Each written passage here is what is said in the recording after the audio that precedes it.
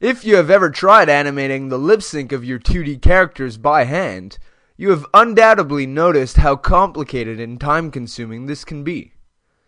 LipSync MX is an assistant software for your 2D animations to help you create stunning lip syncing in no time at all.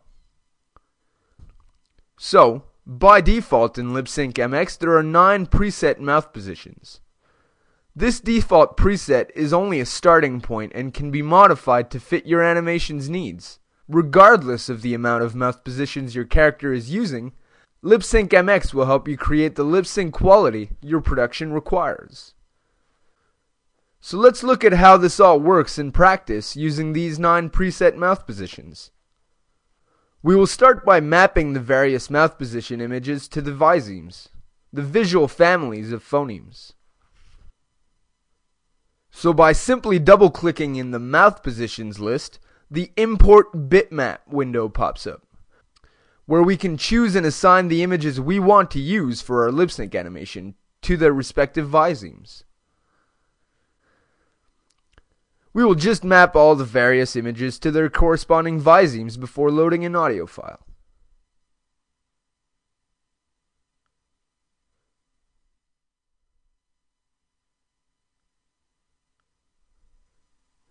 Now that we are done, let's load a sound file.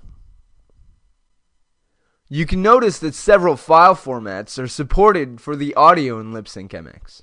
For the purpose of this video, we will use an MP3 file.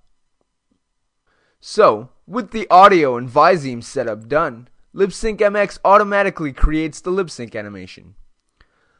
Let's look at the default automated results.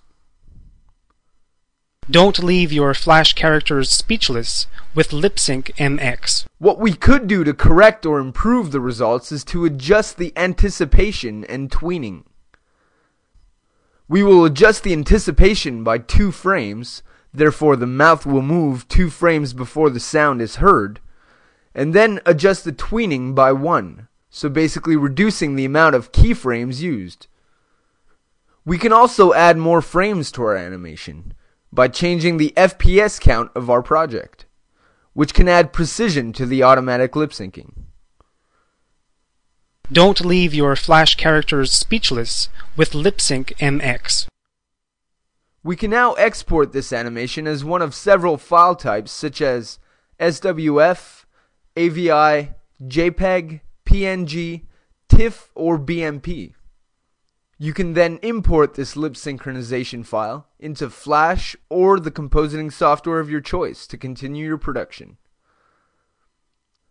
Thank you for watching this introduction to LipSync MX.